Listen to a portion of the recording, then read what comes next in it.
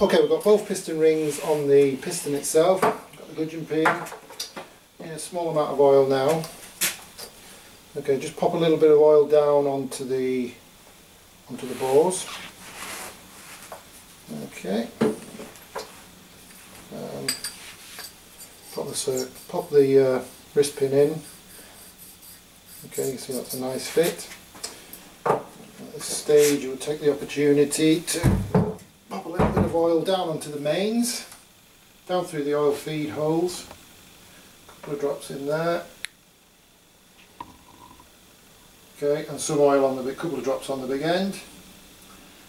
Uh, a couple of drops on the small end bearing as well. There you go, all nicely linked up. Pop that in. Yeah.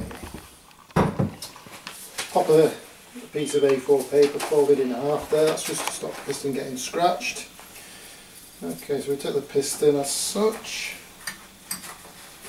And just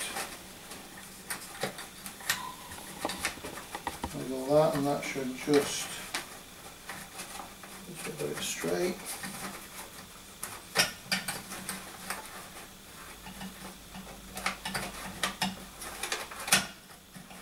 There we go, that should just pop straight into there.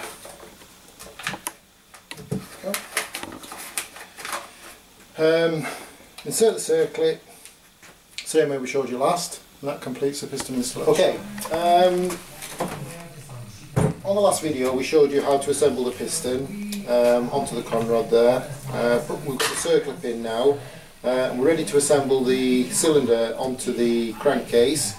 Um, so we've got everything prepared here, ready to do that. So what we need to do next is we need to take the cylinder, and again we're going to use Rhodorsil. Take a small amount of Rhodorsil and place it. The idea is we just want to, again, just to rubberise the face of the gasket. We don't want this material getting all over the place just dab it equally and then we can spread that out. Okay. To get into the corners you can use something similar to this and just get that right up into the corners.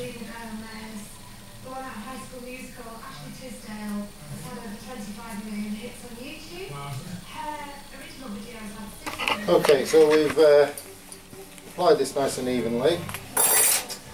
Okay, take a couple of drops of oil, don't need too much here. That.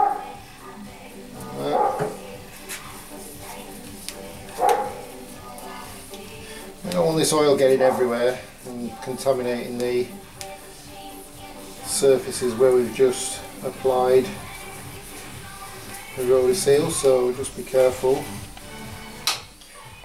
Okay, now, we don't put any lube on the piston at this stage because the last thing you want to do is get thing, get oil all over the place. So keep this keep this dry.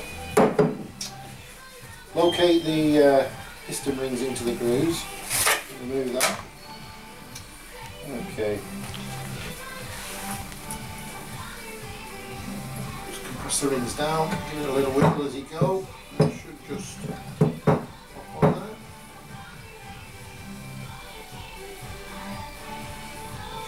bottom ring in position.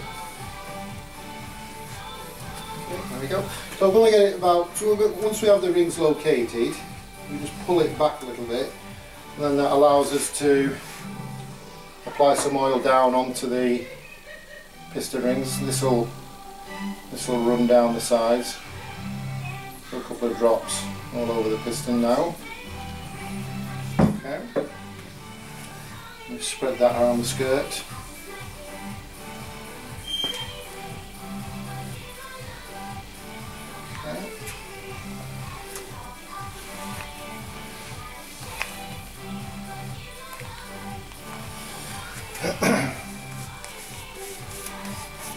Okay, what we also need to do here is apply a small amount of Rhodorsil, just a little bit extra, just to the actual joint itself. There's three joints, so apply three small spots. Okay. Continue to wiggle that down into position. Wind the Wind it down so it's just off top of the centre. Okay. Check that. That's right, okay. Next, um, I'll the head. Apply the O-rings. Pop the uh, spark plug one on first. Hook it into one corner. Follow it round. Just, just pop in there, lovely. Okay, so take some contact cleaner, give that face and the cylinder head, quick skirt, squirt.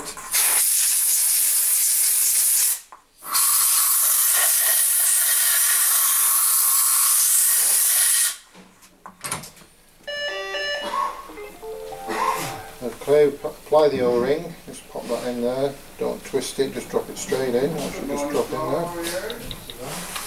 Okay. Again, we apply a small amount of Rhodorsil. Again, we're just rubberising the face here, so we don't want to too much on.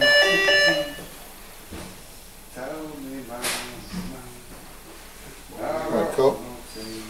Okay, so uh, make sure you've got a nice even coating.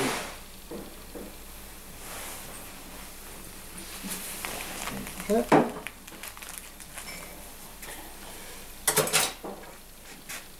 Now before we proceed, we need to fit the, the uh, locator dowels. Now the locator dowels serve the purpose of centralising the cylinder head combustion chamber central to the bore so you don't get any overlap of the mating face into the bore itself.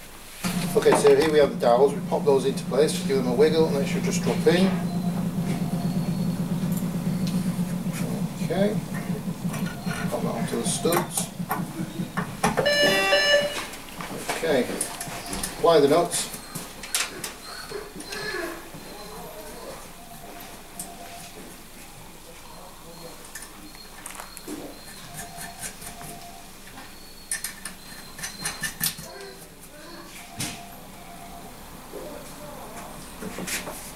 Now we want to torque this down in two or three stages.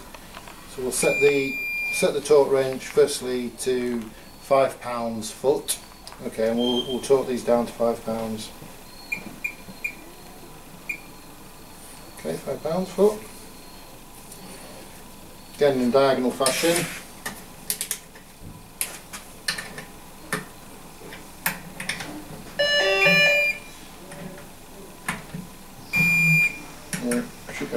Hear that kick in.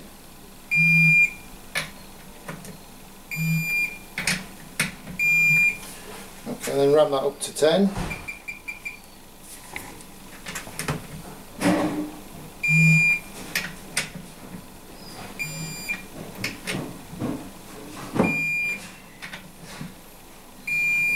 then 15 the idea of doing this is it pulls everything down nice and evenly distorting the head and finally we want to finish off at 20.